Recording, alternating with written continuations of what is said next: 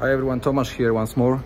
I thought I would just record one more quick rambling video today here on Frames because, uh, you know, just another photography related thought popped into my head. So I want to talk about lines and shapes and uh, why we are actually more or less, you know, attracted to certain shapes, certain kind of scenes. So let me show you where I am.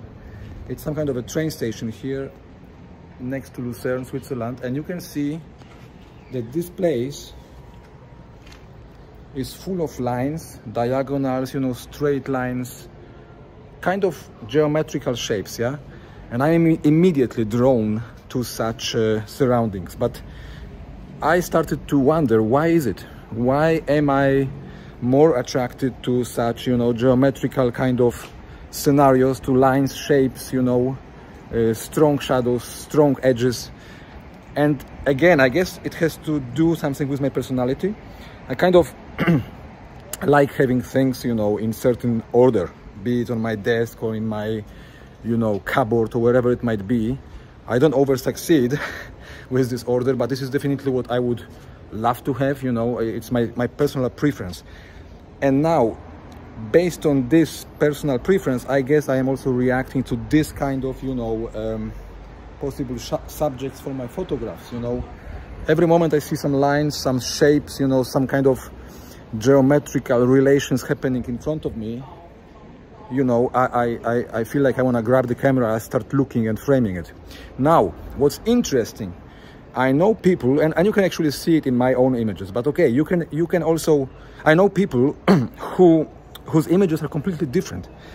They are amazing, they are, you know, eye-catching, and I can't stop looking at those photographs, but they are kind of messy. They are messy. There is there is this plethora, you know, of elements of of uh, small, big uh, things, you know, uh, overlapping each other. The whole scene, it's not so clean. It's not so, you know, uh, uh, perfectly shaped with those straight lines. And um, it might have also to do something with the personality. Maybe their need or their you know idea of how things should be arranged around them is just different. And I'm not you know saying it of course in any kind of judgmental way. You can you can also you know uh, talk about me and and and uh, you know and, and call me pedantic or whatever the, the adjectives here are.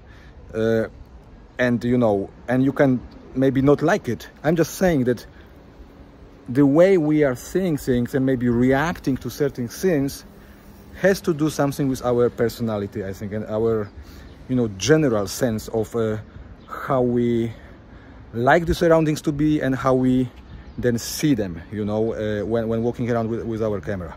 Just a thought. Talk to you next time.